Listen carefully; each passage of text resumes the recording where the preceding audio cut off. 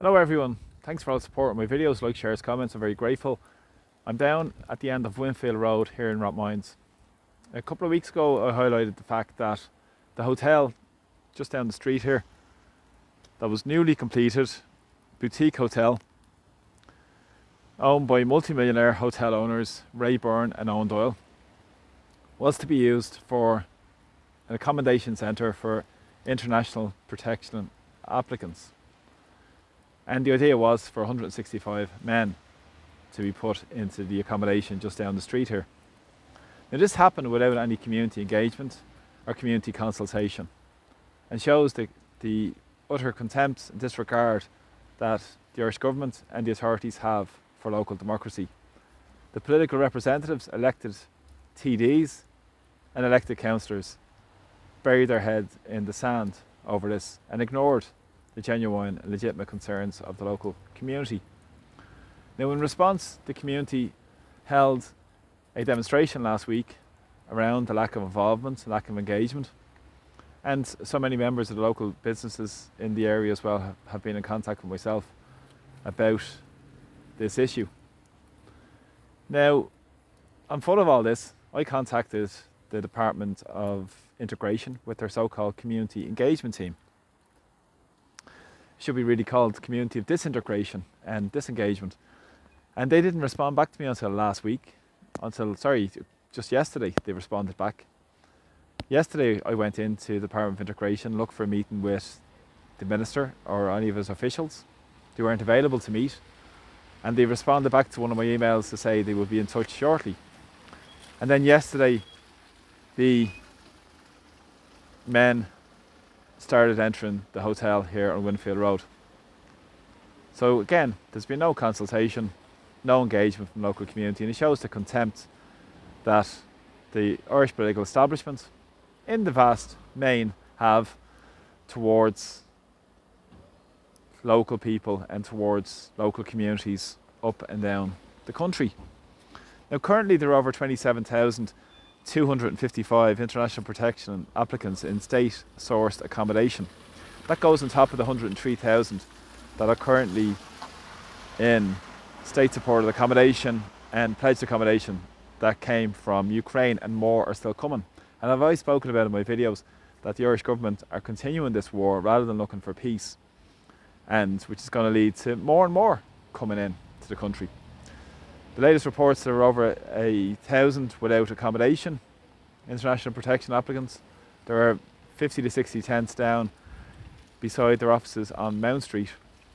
And yet the Irish government are burying their heads in the sand and not dealing with the crisis that they're helping create and support by going against the wishes and demands of so many of the people here in Ireland who have seen the fallout of the catastrophic impacts of the immigration, putting pressure on already pressurised systems, uh, the public services up and down the country, with people waiting for GP appointments, hospital appointments, and so forth as well. But the response I got back from the Department of Community Engagement yesterday was interesting because they said all departments are involved in this new plan that's in place. So all the departments will have the necessary resources in place for the people that are coming in to various communities, which uh, is absolute just uh, a mistruth, to put it mildly. And as well, we've seen a lot of big hotel groups making fortunes out of this. I've highlighted so many of big multimillionaires making a lot of money out of the immigration chaos, much the same as what's happening here on Wynnefield Road in Rathmines, where you have Ray Byrne and Owen Doyle, multimillionaire hotel owners with many, many properties up around the country Wineport Lodge in Westmeath, Staunton's on the Green, down by St Stephen's Green, who are going to yield at least six million this year in public money to provide accommodation. Not to mention all the knock-on benefits for other big companies providing food and so forth. But again, we've seen the money being pushed away and being transferred out of the public purse into private hands. But then at the same time, we've seen a excuse used for cheap labour. And uh, this is what's being pushed through this agenda as well, through what's happening here as well, because a lot would be coming in on the impacts of the Irish capitalist class and the very rich people in our society who have been pushing against wage increases. Currently, the minimum wage has been increased to €12.70 Euro per hour. When you consider price of rents in the local area are absolutely astronomical, and more and more people are dying on our streets, on unable and unafford, unable to afford accommodation on our streets. During the week, a homeless woman passed away in our streets shamefully, and today we have freezing cold conditions, and we have more and more people on the streets of Dublin. But it's been used by the agenda for big business to keep down wages, and this has been lobbied by by the Irish Business Employers Confederation, who have lobbied against wage increases. This has also been pushed by the central bank report recently, which is looking for cheap labour, which again is forcing down wages and keeping conditions worse for more and more people.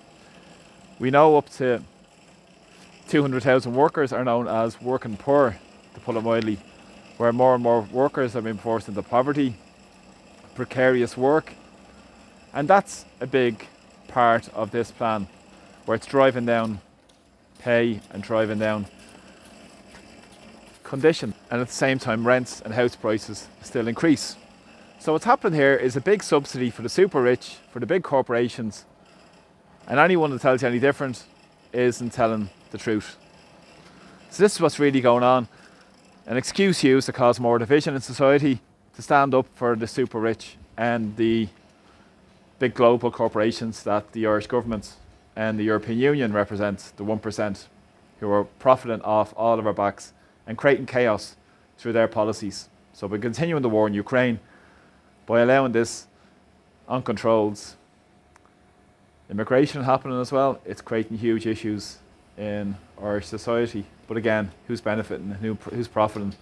And when you consider 1% in Ireland, the top 1% have over 35% of the wealth, which has been a direct correlation with the impacts of lockdowns. And now we've seen another ruse used to subsidise the wealthy big property owners, big commercial property owners, and big employers as well. So, uh, thanks for joining me my videos. Please share them far and wide. Please press subscribe to my YouTube channel and Facebook page. And from Dublin, take care. Talk to you all soon. Salam.